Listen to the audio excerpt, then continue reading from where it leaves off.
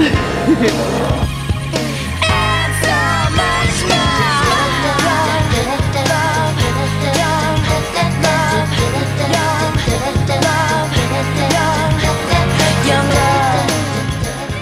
love that song!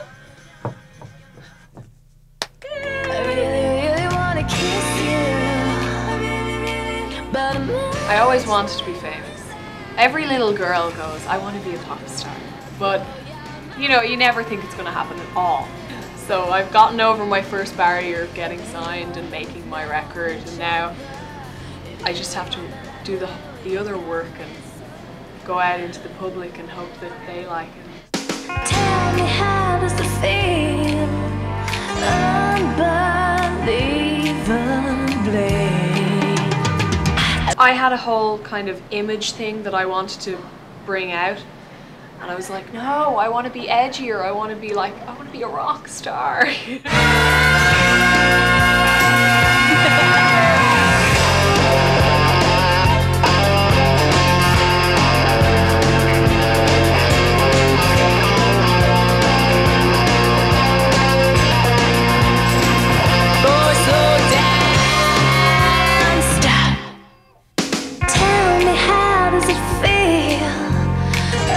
basically we sat down and I went through like songs and I explained what I wanted to be about and how they perceived me and we came up with this great album which I'm so happy with.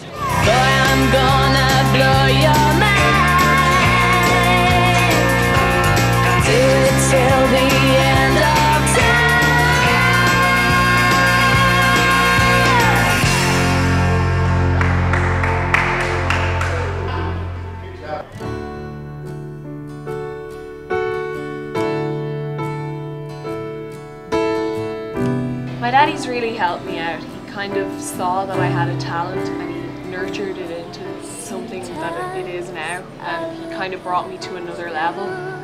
I wouldn't have been able to do it without him and he gave up everything and just came to Los Angeles and based himself here and he travels with me and he's just great to have around and he's been there for.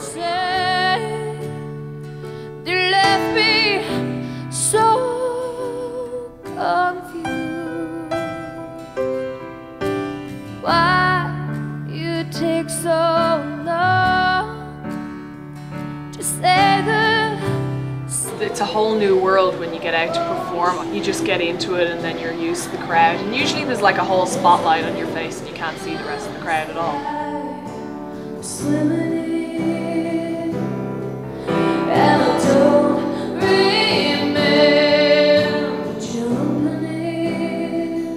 Melody and lyrics, I love writing lyrics. I'm really nervous at, at first, but once like you get the first verse out, it's great. and it's bigger than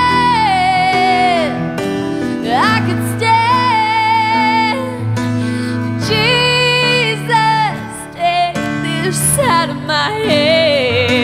I wanted to bring pop but rock at the same time, just to be commercial but to be me at the same time.